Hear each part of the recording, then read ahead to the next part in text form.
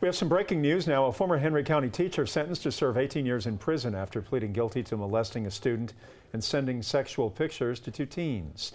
That's the information that we have. We will try to get more information for you as we uh, are able to on 11alive.com.